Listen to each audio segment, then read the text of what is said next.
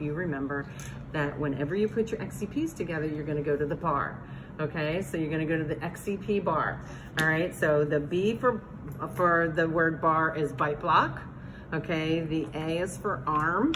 Okay, it also is can be called a rod. Okay, and the R is for ring. Okay, so if you start with your bite block, you go to your arm and you go to your ring, you're never gonna go wrong. So what you've learned so far, what um, type of um, radiographs can I take with the yellow XCP? Posterior. Posterior, very nice. good. Okay, so you're gonna first pick up your bite block. Okay, you're gonna find on your bite block where the little holes are on the side. Okay, you're gonna place the prongs and no notice how everything's color coded. Okay, there's yellow prongs, yellow bite block, okay, and yellow ring. You can't go wrong if you make sure that you stay within your color coordination, okay? Now there are some offices, however, that I've worked in where all these are all one color. So please know your shapes, okay?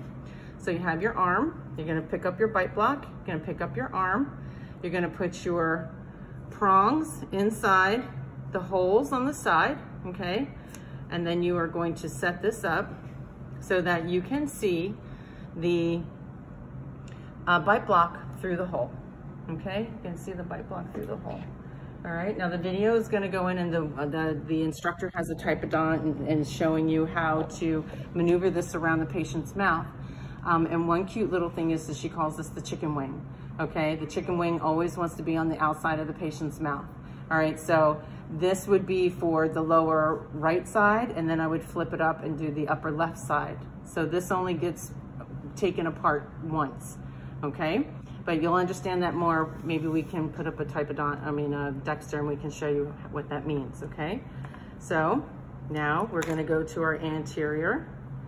What is this? Bite block, okay? What is this? The arm, very good. And what is this? the ring, okay?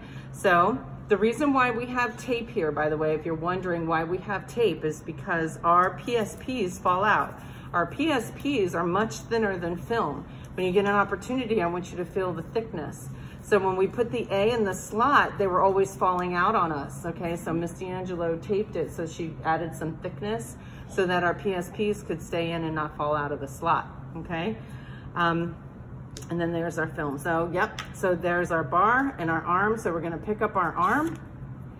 We're going to, again, put the blue prongs into the holes on the side of the bite block. We're gonna hold it up like this, and now it looks like a director's chair, okay? It looks like a little chair, it doesn't, a little person's gonna sit there and be on a boom that's gonna take them around and videotape a, a movie. And then we put the, for some reason, I was, there we go, okay? And you can see that the beam would go straight here, okay? Anterior, right? Am I right? Is this anterior? Yes, okay. And now your bite wing, okay? And what is this? Ring. Okay, this? Arm. Arm. Bite block, okay? So when we take um, anterior and posterior radiographs in a full mouth series, these radiographs are called periapicals, okay? Peri meaning around, apical meaning the apex of the tooth. So when you take a look at our full mouth series, you're gonna see the whole tooth in the film, okay? Whether it's anterior or posterior. When we take bite wing radiographs, we only get a picture of the teeth biting together. So all we get is crowns. We're not gonna get any apexes, okay?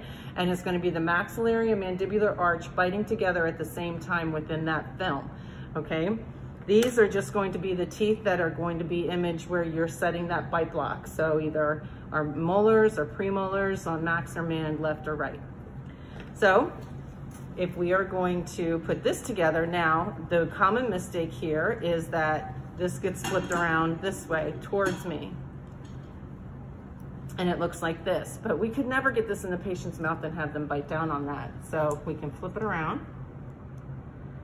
And in the video, it's really cute. She calls that a whale's tail, okay? And it looks like a little whale's tail and it's away from us. And then this will go in here like this.